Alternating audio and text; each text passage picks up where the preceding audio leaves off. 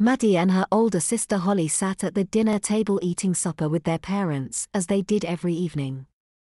As seemed usual in their home, Holly liked to dominate the conversation, telling their parents about her day at school and how well she was doing in every class.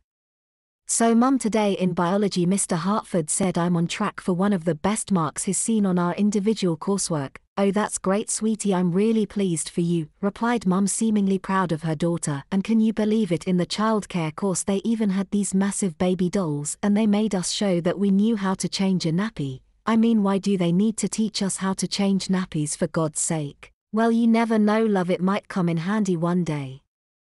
Maybe if you have children of your own, as Holly carried on and on, Maddie found her boastfulness increasingly annoying. She had finally had enough and just couldn't help but say something. Jesus, do you ever stop talking about yourself, Holly? I'm fed up with you going on and on about how amazing you are at everything. Maddie, don't be so disrespectful and rude to your sister. All she's doing is telling us about her day. Yeah, Maddie, what the hell is wrong with you? Are you you're jealous of me or something?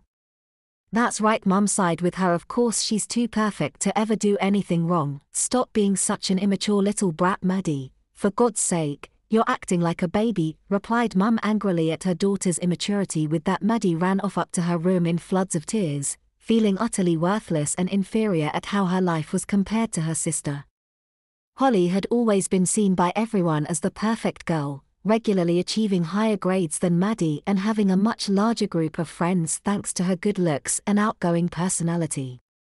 But Maddie didn't see it this way. To her, she saw Holly as boastful and full of herself, always going on about how she had done this or done that. Maddie felt fed up with living in her sister's shadow.